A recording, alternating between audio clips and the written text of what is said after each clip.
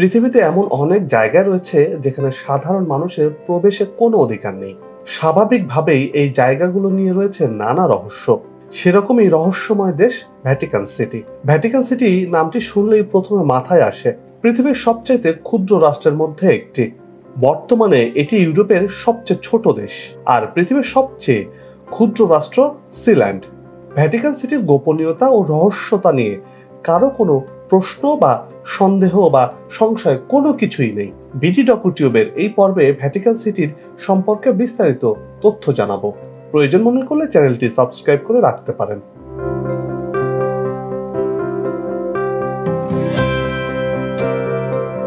ইতালির রোম শহরের মধ্যে আরেকটি দেশ, তবে তা স্বাধীন দেশ। নাম তার ভ্যাটিকান সিটি যা পৃথিবীর সবচেয়ে ছোট দেশের মধ্যে একটি। মাত্র উনপঞ্চাশ হেক্টর আয়তনের এই ক্ষুদ্র দেশের জনসংখ্যা কম বেশি আটশো থেকে এক হাজারের মতো। বিশ্বের অন্যতম প্রাচীন শহর রোমের মাঝ বরাবর বয়ে চলা তিব নামক নদীর কুল ঘেঁষে গড়ে উঠেছে এই ভ্যাটিকান সিটি।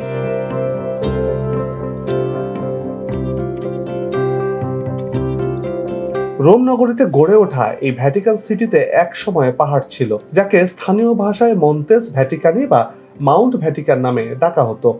মূলত এখান থেকে পরবর্তীতে এই স্থানের নাম ভ্যাটিকানে রূপান্তরিত করা হয়। খ্রিস্টপূর্ব প্রথম শতাব্দীর কথা। আগ্রাপিনা দ্য এল্ডার আরাম আয়েস আর বাগান বিলাসের চিন্তা করেন। আর সেই চিন্তা থেকেই রোম শহরের তীব নদীর তীর ঘেরা পাহাড় অঞ্চল কেটে এক বিশাল উদ্যান বানিয়ে ফেলেন তিনি।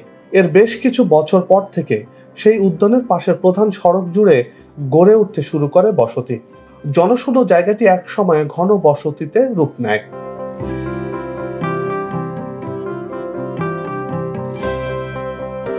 আগ্রাপিনা দ্য এল্ডারের সন্তান, পরবর্তী সম্রাট। ক্যালিয়াকুলার এই উদ্যানের জায়গায় সার্কাস বানানোর উদ্যোগ নেন চল্লিশ খ্রিস্টাব্দের শুরুতে। কিন্তু তিনি বেঁচে থাকা অবস্থায় তা শেষ করে যেতে পারেননি। ক্যালিগুলারের পরবর্তী সম্রাট নিরো ক্যালিগুলার এই অসমাপ্ত কাজ শেষ করেন। সার্কাস প্রাঙ্গণটি ছিল পাঁচশো মিটার লম্বা এবং একশো মিটার চওড়া। সার্কাসের নামকরণ করেন গাই সার্কাস দ্য নিরোনেস, যেটি নিরোর সার্কাস নামে বেশি পরিচিতি পেয়েছিল।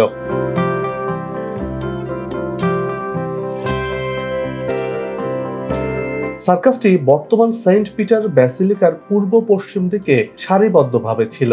এর মূল মঞ্চ ছিল দক্ষিণ দিকে। প্রাচীন সেই ভ্যাটিকান আর বর্তমান ভ্যাটিকানের মধ্যে রয়েছে বেশ পার্থক্য। তবে প্রাচীন ভ্যাটিকানের একমাত্র দৃশ্যমান ভগ্ন অবশেষ হচ্ছে ভ্যাটিকান ওবেলিস্ক। এটি সার্কাসের স্পিনা সাজানোর কাজে সম্রাট ক্যালিগুলা হেলিওপেলিস থেকে আনিয়েছিলেন। চৌষট্টি খ্রিস্টাব্দে পুরো রোম জুড়ে বড় ধরনের আগুন লাগার ঘটনা ঘটে। যা ইতিহাসে the great fire of Rome নামে পরিচিত। তখন এই জায়গাটিকে খ্রিস্টানদের সমাধিস্থল হিসেবে ব্যবহার করা হয়।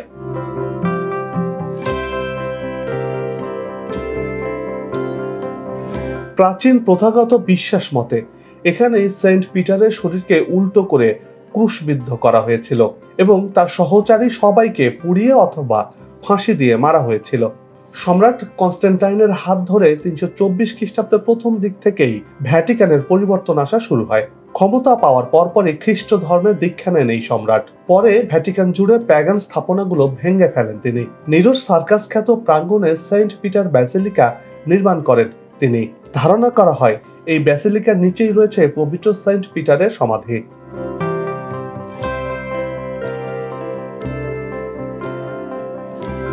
এই সেন্ট পিটার ব্যাসিলিকা সহ বিশেষ সব ক্যাথলিক খ্রিস্টানদের কাছেই পবিত্র স্থান এটি।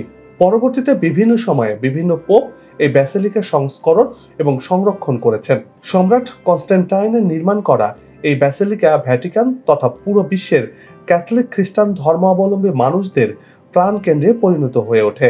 সেন্ট পিটার ব্যাসিলিকা নির্মাণের মধ্য দিয়েই মূলত ভ্যাটিকান ও এর আশপাশে ক্যাথলিক খ্রিস্টান ধর্মাবলম্বীদের আনাগোনা বেড়ে যায়। এক সময় এই অঞ্চল ক্যাথলিক খ্রিস্টানদের ধর্মগুরু পোপদের হাতে ক্ষমতায় চলে যায়।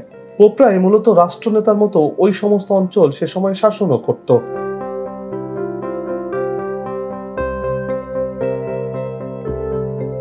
আটশো চব্বিশ খ্রিস্টাব্দে পোপ চতুর্থ লিওয়ের সময়ে সারাসান পাইরেটস বা বেদুইন জলদস্যুরা সেন্ট পিটার ব্যাসিলিকা এবং ভ্যাটিকান ও এর আশপাশের অঞ্চলকে ক্ষতিগ্রস্ত করে। এরপর পোপ লিও নদী পাড়ের খোলা জায়গাটিকে চারদিক দিয়ে সীমানা বেষ্টিত করার পরিকল্পনা গ্রহণ করেন। পরবর্তীতে সে মোতাবেক কাজও শুরু হয়। আটশো বাউান্ন খ্রিস্টাব্দে উনচল্লিশ ফুট লম্বা আর পাথরের তৈরি, অত্যন্ত মজবুত প্রাচীর নির্মাণ করা হয়। পোপ লিওনাইনের নামে এই শহরের অভিষেক হয় ভ্যাটিকানের বুকে। পরবর্তীতে ষোলোশো চল্লিশ খ্রিস্টাব্দে পোপ অষ্টম আরবানের সময়ে প্রাচীরের অনেক সংশোধন এবং সংস্কার করা হয়।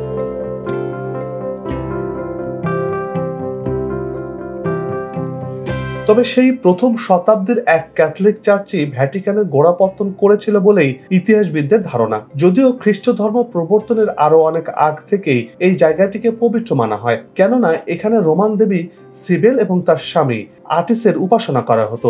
এই প্রাচীর ঘেরা লিওনাইন শহর মধ্যযুগ এবং রেনেসার সময়ের আধ্যাত্মিকতার প্রাণকেন্দ্র হয়ে ওঠে।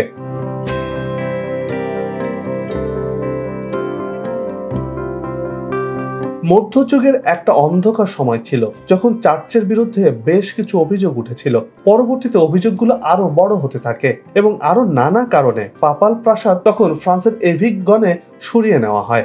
রোমের সমস্ত কার্যক্রম প্রায় এক শতাব্দীর মতো বন্ধ হয়ে যায়। পরবর্তীতে পোপ পঞ্চম নিকোলাস চোদ্দশো পঞ্চাশ খ্রিস্টাব্দে অ্যাপোস্টলিক প্যালেসের কাজ শুরু করেন এবং এই প্রাসাদই পরবর্তীতে তার উত্তরাধিকার হিসেবে আসা পোপদের স্থায়ী আবাসস্থল হিসেবে গড়ে ওঠে, যা এখন পর্যন্ত চলমান রয়েছে।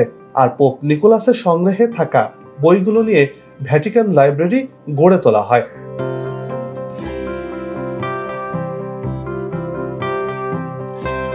শহরের প্রাচীরের ভেতরে থাকা ভ্যাটিকান প্যালেস বা ভ্যাটিকান প্রাসাদটি মূলত পোপদের আবাসস্থল। পোপ ক্যাথলিক খ্রিস্টানদের ধর্মগুরুর পাশাপাশি তিনি ভ্যাটিকান সিটির রাষ্ট্রনেতাও। তবে ভ্যাটিকানের রাষ্ট্রনেতা বা পোপ নির্বাচনে বিশেষ আর নিজস্ব ঐতিহ্য রয়েছে। পোপ নির্বাচনের এই পুরো পদ্ধতিকে বলা হয় কনক্লেভ। ল্যাতিন ভাষায় এই শব্দটির অর্থ রুদ্ধ কক্ষ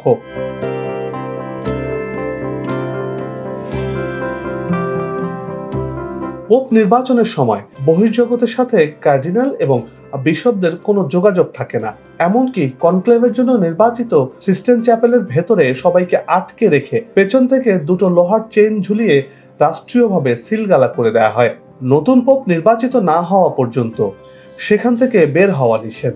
তবে গুরুতর শারীরিক অসুস্থতা বা মৃত্যুর বিষয়টি ভিন্ন।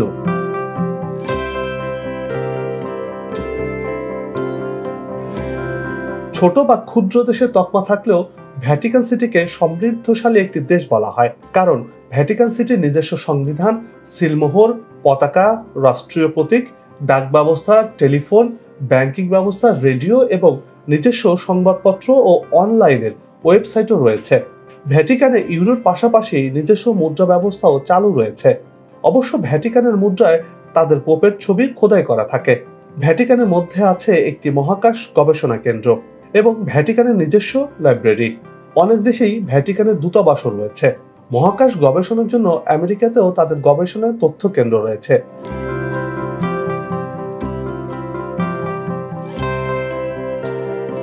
ভ্যাটিকান সিটি সবসময় শান্ত। এর চারপাশে বিরাজ করে শুনশান নিরাপত্তা। দেশটিতে কোনো রমণী বাস করে না বলেই ধরে নেওয়া হয়। যারা ভ্যাটিকান সিটিতে বসবাস করে সবাই ক্যাথলিক পোপ। তারা পৃথিবীতে খ্রিস্ট ধর্মের শান্তির বার্তা প্রচার করেন। প্রথম শতাব্দী থেকেই ভ্যাটিকান সিটিতে খ্রিস্ট ধর্মের পোপরা বসবাস শুরু করেন। তখন ভ্যাটিকান সিটি স্বাধীন সার্বভৌম কোনো রাষ্ট্র ছিল না। শুধু ইতালির অধীনে ছোট্ট শহর বলে পরিচিত ছিল এই ভ্যাটিকান সিটি। কিন্তু উনিশশো উনত্রিশ সালে ভ্যাটিকান সিটি স্বাধীনতা লাভ করে।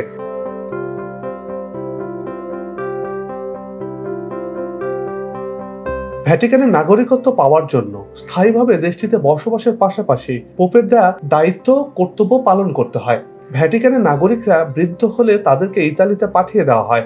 সেই সাথে ধর্মের পথে কাজ করতেই ভ্যাটিকানে যুবকদের নিয়ে আসা হয়। হাজার জনসংখ্যার দেশটিতে এত নিয়মকানুন থাকা সত্ত্বেও এই দেশটির অপরাধ প্রবণতা বেশ লক্ষণীয়। এছাড়াও দেশটির জনগণ প্রচণ্ড রকমের মদ পান করে থাকেন।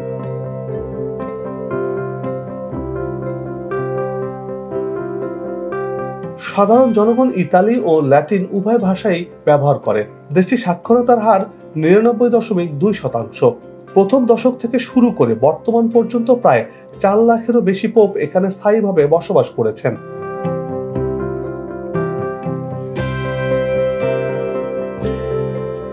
শহরের প্রাচীরের মধ্যে থাকা দ্য ভ্যাটিকান প্যালেস বা ভ্যাটিকান প্রাসাদ।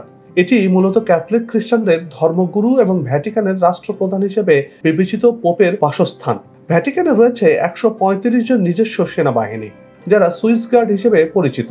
আরও আছে সিটাডেল ভ্যাটিকানুই, নামে মাত্র তিনশো মিটার দৈর্ঘ্যের রেলওয়ে, যা হয়তো দুনিয়ার সবচেয়ে কম দূরত্বের রেল লাইন।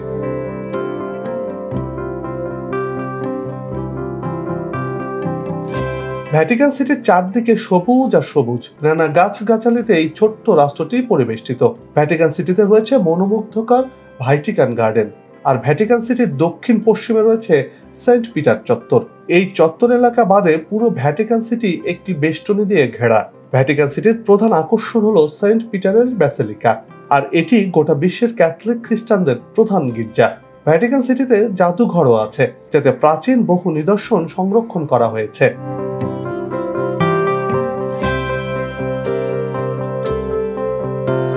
বিশ্বের অন্যতম পবিত্র স্থান বলে ঘোষিত ভ্যাটিকান সিটিকে উনিশশো চুরাশি সালে জাতিসংঘ বিশ্ব ঐতিহাসিক স্থান হিসেবে ঘোষণা করে।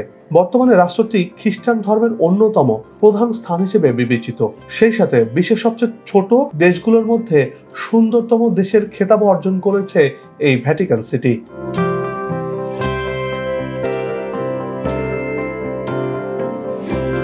এই দেশে মূলত স্থানীয় জনসংখ্যার চেয়ে পর্যটকের সংখ্যাই বেশি। ভ্রমণ পিয়াসুদের তীর্থস্থান হিসেবে পরিচিত এই ভ্যাটিকান সিটি প্রতি বছর এ শহরে সাড়ে পাঁচ মিলিয়ন মানুষ ভ্রমণ করতে আসেন।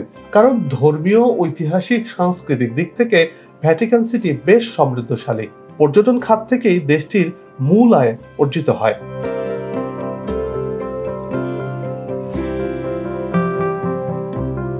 তবে পর্যটকরা চাইলেই যে কোনোভাবে যে কোনো পোশাক পরিধান করে এই দেশটিতে প্রবেশ করতে পারেন না। দেশটির নিয়মকানুন মেনেই যেতে হয় পর্যটকদের।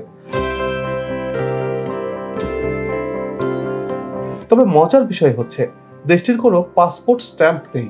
অর্থাৎ আপনি ভ্যাটিকানে বেড়াতে গেলেও আপনার পাসপোর্টের কোনো সিল বা স্ট্যাম্প পড়বে না।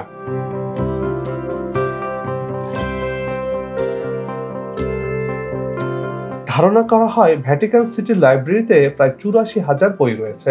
এর মধ্যে খ্রিস্টান মিশনারি প্যাগান সহ আরও বিভিন্ন ধর্ম আর মতবাদের বই এখানে মজুদ রয়েছে। এছাড়াও বিজ্ঞানের আবিষ্কার বিষয়ক বিজ্ঞানীদের বইগুলোর কপিও এখানে সুরক্ষিত রয়েছে। তবে সবচাইতে প্রচলিত ধারণা হচ্ছে এখানে বাইবেলের আদি সংস্করণ এবং হারিয়ে যাওয়া গসপেলগুলো সংরক্ষিত রয়েছে এই ভ্যাটিকান সিটিতে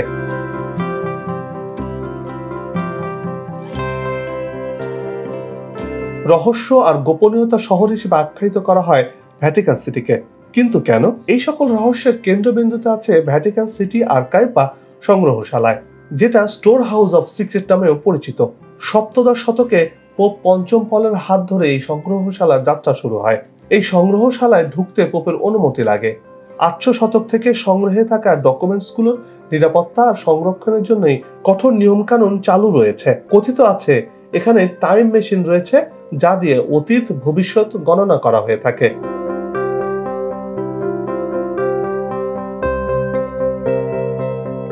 দর্শক, আজকে বিদায় নিচ্ছি। আগামীতে আবারও দেখা হবে নতুন কোনো তথ্য, নতুন কোনো জায়গা। ইতিহাস আর ভ্রমণ চিত্র নিয়ে। জানাব অজানা সব তথ্য আর প্রাকৃতিক পরিবেশের কথা। যাবার আগে মনে করিয়ে দিতে চাই, পরিবেশ দূষণ থেকে বিরত থাকে, নির্মল বাতাসে সুস্থ শ্বাস নেই। আগামী প্রজন্মকে স্বাস্থ্যসম্মত পরিবেশ উপহার দেই। ভিডিওটি ভালো লাগলে লাইক দিন, অন্যকে এমন তথ্য জানাতে শেয়ার করুন। আর কি দেখতে চান, কমেন্টে লিখে আমাদেরকে জানান। ভালো থাকবেন, নিরাপদে থাকবেন।